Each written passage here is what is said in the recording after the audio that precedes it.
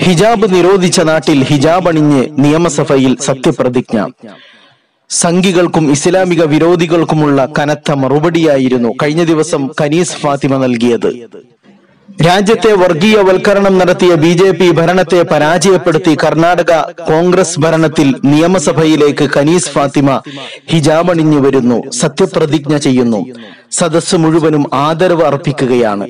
ഇതാണ് ഇന്ത്യ. ഇതായിരുന്നു നമ്മുടെ ഇന്ത്യ. ഹിന്ദുവും മുസ്ലിമും ക്രിസ്ത്യാനിയും തോളോട് തോൾ ചേർന്ന് നിന്ന് പണിയെടുത്ത് സ്നേഹത്തോടുകൂടി കഴിഞ്ഞ ഇന്ത്യ.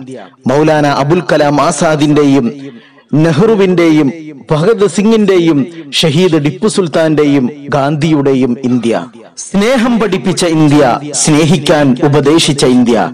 ഇന്ത്യ അന്ന് ഒന്നാമതായിരുന്നു. ഇന്ന് ഷൂനക്കികൾ ഇന്ത്യയെ ഇകഴ്ത്തിക്കൊണ്ടിരിക്കുകയാണ്. റബ്ബ് കാക്കട്ടെ ചാണകം മണക്കാത്ത നല്ല നാളുകൾക്ക് വേണ്ടി നമുക്ക് പ്രയത്നിക്കാം പ്രാർത്ഥിക്കാം.